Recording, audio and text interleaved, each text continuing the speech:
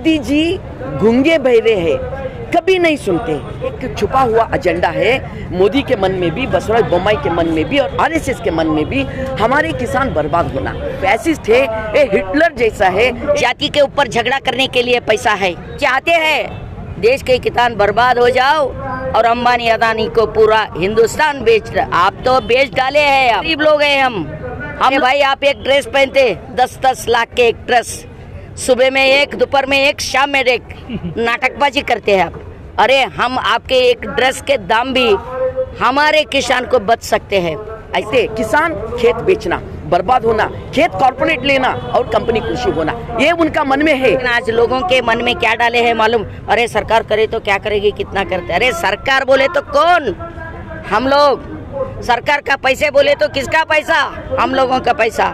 हम जो टैक्स देते हैं, हर चीज़ के ऊपर टैक्स देते हैं। टैक्स के बिना, टैक्स के बिना एक दाना भी नहीं मिलते हमको।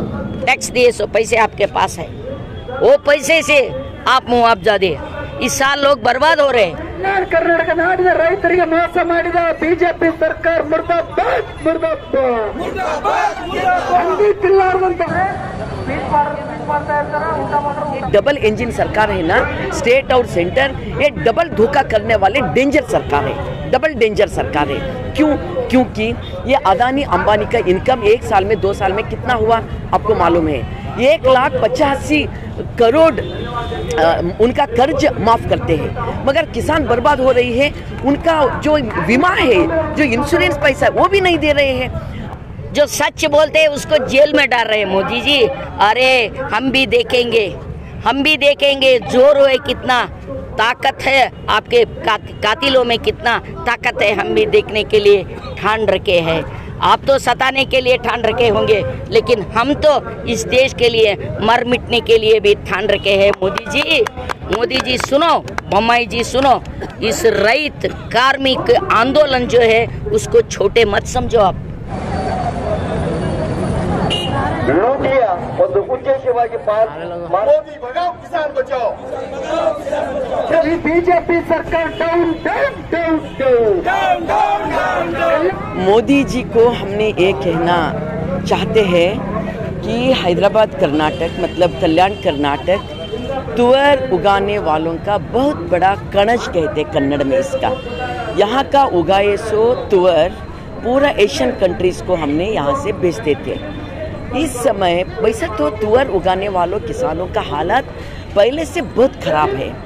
हम सीपीएम पार्टी वाले किसान सभा वाले, महिला संघ वाले, युवा संगठन वाले, केस डाल लिया, हमारे ऊपर केस हुआ, लाठीचार्ज हुआ, हम जेल भोगे, जेल जेल गए थे हम। इसके बाद यहाँ एक बोर्ड हो गया।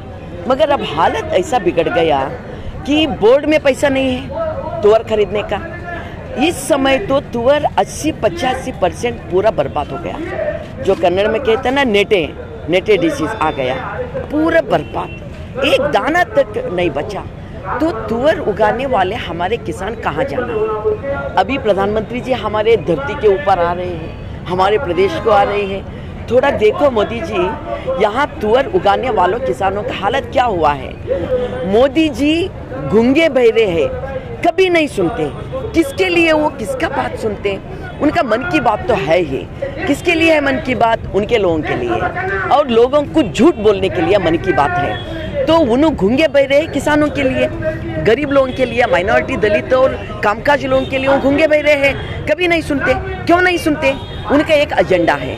उनको कौन बोले हैं? आरएसएस बोले हैं। उनका बीजेपी तो एक पॉलिटिकल पार्टी है ही नहीं है। तो आरएसएस क्या बोला है? इस देश में जो जो काम करने वाले लोग हैं, वो मरना। वो कभी अच्छा ज़िंदगी नहीं जीना। जो किसान हैं, जो उगाते हैं, उनके हाथ से खेती लेना और कॉरपोरेट लोगों को देना। ऐसे नौबत ला के रखे हैं हमारे किसानों को, जो उगाने के बाद वो दूसरी माह है। पहला माह हमें जन्म जन्म दिया। दूसरी माह किसान और कृषि कूली कार्मिक जो एग्रीकल्चर वर्कर्स है, वो हमें दान देकर, हमें अन्न देकर, हम, हमें ज़िंदा रखे हैं। ये मोदी भी, ये बसवराज बोमाई भी, ये सब लोग भी किसानों का अन्न खा के ज़िंदा है। वो कुछ ऐसा हवा में ज़िंदा नहीं है। हाँ मगर अभी उन्होंने किसानों को धोखा करने वाले हैं। ये डबल इंजन सरकार है ना स्टेट और सेंटर ये डबल धोखा करने वाले डेंजर सरकार है। डबल डेंजर सरकार है। क्यों?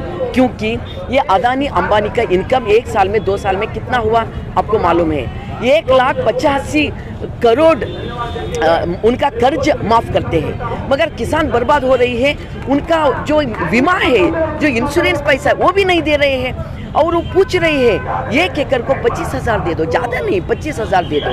अगर ये अदानी अंबानी का, एक समय का कर्ज इन्हों माफ़ करना छोड़कर अगर किसानों का दिए तो पूरा कर्नाटक को किसान को दे सकते हैं। उतना पैसा है, मगर नहीं देते। वो पूछ रही है, इतना अच्छा तुअर है हमारा, आप इंपोर्ट मत कर ले लो, बाहर का तुअर मत खरीदो कि अभी दस लाख टन से ज़्यादा खरीद लिया। उसका कोई टैक्स नहीं है इम्पोर्ट का टैक्स नहीं डाले हैं। इन्हों कहते हमारे तुअर बहुत अच्छा है। हम हमको रक्षा दे दो। हमारे तुअर को आप अ, अच्छा मदद करो। हम अच्छा उगा के देते आपको। मगर वो नहीं करते। क्यों नहीं करते? उनका मन में एक छुपा हुआ एजेंडा है। मोदी के मन में भी बसवराज बोम्माई के मन में भी और आरएसएस के मन में भी हमारे किसान बर्बाद होना। और किसान के पूरा आगे पीछे जितने भी लोग हैं उन्होंने अच्छा ज़िंदगी जी सकते थे। किसानों के कारण वो भी बर्बाद होना। वो सब लोग बर्बाद होने के बाद ये उनका दिमाग में एनपीआर एनआरसी जैसा एजेंडा है। एनपीआर एनआरसी माइनॉरिटी के ऊपर चला रहे हैं और ऐसा किसानों को, ऐसा द्रोह करके किसानों के ऊपर अलग चला रहे हैं। आज एक कम्युनिटी का टारगेट है, कल दूसरा कम्युनिटी परसों दूसरा, तीसरा कम्युनिटी ऐसा है उनका। अभी किसानों को उन्होंने टारगेट करे हैं। वो क्यों नहीं दे रहे हैं? वो पैकेज घोषण कर सकते हैं, नहीं कर रहे और किसान जो पूछ रहे हैं कि बोर्ड को पैसा दे दो, जितना हम उगाते हैं, उतना खरीदना। और ग्राम पंचायत एक एक ग्राम पंचायत में एक एक खरीदने का सेंटर खुला करो। ये सब पूछ रहे कि- किसान, और जो कर्ज करे हैं, वो माफ़ करो। कुछ भी नहीं कर रहे ये डबल इंजन डबल धोखादार सरकार। क्यों नहीं कर रहे? ये हमारे देश का द्रोह करके अदानी अंबानी को अच्छा करने वाले सरकार है। कैसा? मैं आपको बताती हूँ कि अदानी अंबानी का एजेंट सब हैदराबाद से बम्बई से अलग अलग मेट्रोपॉलिट सिटी से गाँव को आ रही है। कैसा आ रही है? हमारे किसान उगा उगा के बर्बाद होके कर्जा करके अब आत्महत्या कर ले रहे हैं। ये ये खेती हमें नहीं चाहिए बा। हमें कितना उगाने के बाद भी हमें कुछ नहीं मिल रही। है बेचना बेचना इनके मन में आना, वैसा करें। बेचने, बेचे, मगर लेने वाले कौन है? ये कॉर्पोरेट के एजेंट वाले ले रहे हैं। ये लेके हमारे किसानों के हाथ से खेती लेके उन्हों कंपनी एग्रीकल्चर कर रहे हैं। कंपनी एग्रीकल्चर कंपनी एग्रीकल्चर का मतलब क्या है? एक कंपनी आया था हमारे देश को बर्बाद करने में। अभी हज़ारों कंपनियाँ आरएसएस और बीजेपी सरकार इधर ला रहे हैं। एक एक गाँव में 500 600 एकड़ खरीद कर रहे फेंस डाल रहे और पूरा मशीन से बीज ये करते और बोझते और उगाते, मशीन से मशीन से ले जाके उन्हें गोदाम में डालते। वहाँ एग्रीकल्चर वर्कर्स को काम नहीं, किसान को काम नहीं, किसको नहीं सभी को बाहर हकलते पूरा हमारे एग्रीकल्चर उनका कंपनी एग्रीकल्चर बना लेते। ये बहुत डेंजर की बात है। इसीलिए हम कहते तुअर का बात है, एक कल्चर की बात है। एग्रीकल्चर का एक कल्चर है, हमारा कृषि कल्चर कहते हैं हम। तुअर की बात है, ज़िंदगी की बात है। तुअर हमारे भविष्य तुअर हमारे प्रदेश का इकोनॉमी है। बहुत बड़ा इकोनॉमी है। अगर तुअर को अच्छा रेट मिला तो इस प्रदेश का इकोनॉमी बढ़ जाता है। अच्छे बन जाते हैं लोग। हमारे युवा लोगों को भी काम मिलता। अच्छे बन जाते मगर उनको वो नहीं चाहिए। वो कहते किसान, खेत बेचना। बर्बाद होना, खेत कॉर्पोरेट लेना और कंपनी कृषि होना, ये उनका मन में है। और अब ये उन्नीस तारीख को आने वाले हैं ना मोदी जी। मोदी जी, इस पूरा प्रदेश का, लोग किसानों का, अभी छपते ना पूरा पेपर में मीडिया में, वो देखना। अगर वो इंसान है तो देखते। अगर वो अन्न खाते तो इधर थोड़ा देखते हो। अगर नहीं खाते तो इलेक्शन के लिए गुमनाम करके, मन की बात जैसा झूठे झूठे बात बोलकर चले जाते। इसीलिए हम कहते हैं, ये हमें परिहार देने वाले नहीं है। एक कॉर- कॉर्पोरेट के पक्ष में है और ये फैसिस्ट है, ये हिटलर जैसा है, ये मुसलोनी जैसा है, इस देश में एक एक को एक एक को लाइन में लगा के उनको मारने वाले हैं। हम लोगों को विनती कर रहे हैं, इस बार उनको गद्दी से निकालो, नहीं तो आप लोग भी मर जाते।